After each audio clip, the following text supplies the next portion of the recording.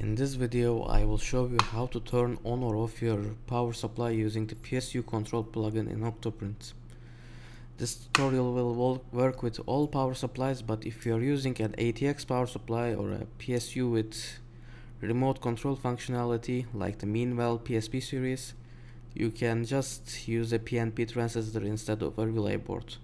But this video will cover a relay board as it's a more common way of doing this so you can this using a relay board instead of a transistor only costs a few dollars more so you shouldn't worry about it too much. And this will work with pretty much every power supply out there. So without further delay let's begin. First of all I will talk about all the parts that you will need. Obviously you need a 3D printer with a power supply and a Raspberry Pi with Octoprint installation. Other than that you will need a relay board, a 1k ohm resistor, a buck step down converter like an LM2596.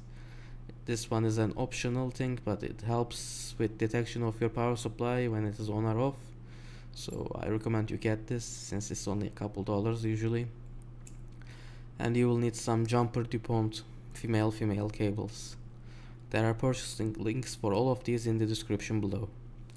So let's begin this is the wiring diagram.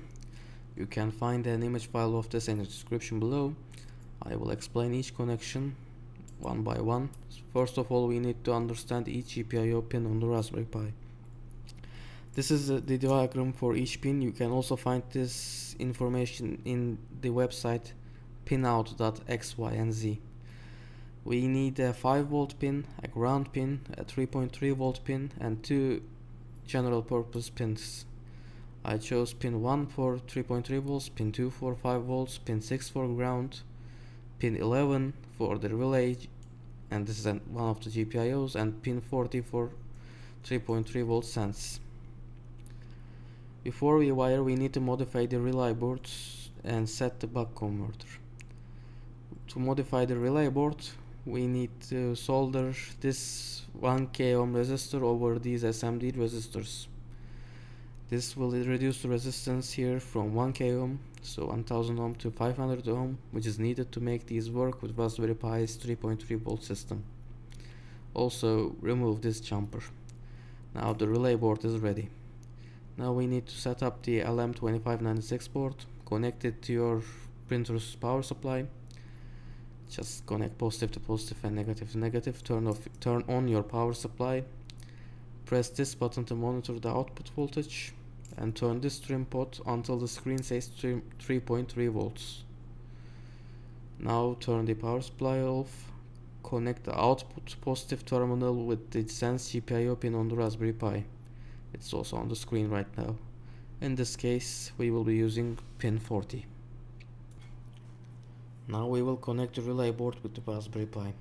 Connect VD VCC with the 5 volt pin, pin 2 in this case. Connect the VCC to 3.3 volts, pin 1 in this case, and connect ground to ground, obviously, which is pin 6, and in 1 on the relay board to G the GPIO pin we selected, which is pin 11. Now connect the power supply. If you have a always on power supply, like any of the standard power supplies that ship with 3D printers or like a Meanwell SE series for example you need to connect the regular AC cable to the relay board. If you are European it will be the brown wire and if you are from the US it will be the black one. Just connect those to the relay board as shown on the screen right now. If you have an ATX power supply connect these these two pins from the 24 pin motherboard connector to the relay. And if you have a different PSU with remote control function like the Meanwell PSP series connect the RC and RCG wires to the relay board again. As shown on the screen. All the wiring is now done. We need to install and configure the PSU control plugin. Just go to settings and download the plugin. Now just it's named PSU control. Download it and reboot the Raspberry Pi. We will now configure the plugin Go to PSU control plugin settings and choose GPIO as switching method. GPIO mode should be also board. On off GPIO pin is the pin that's going to your relay. In this case set it to 11. Sensing should also be set to GPIO pin. Select the pin with the buck converter, in this case pin 40. If you want your 3D printer to turn off when idle, select the box with automatically turn off PSU off when idle box and then set the time below. You should probably also set wait for temperature to a reasonable temperature for safety reasons. You can also set your 3D printer to turn on automatically when the Raspberry Pi is turned on here. Save all of these settings, reboot the Raspberry Pi and plug in your power supply. The plugin should now work. You can turn on or off your power your 3D printer using this lightning shape button. Also, if you have set the idle timer, it will turn it off automatically after whatever time you set it at. So I hope you found this video useful. If you did please leave a like. If you have any problems or questions with this setup leave them in the comments and I will try to help you.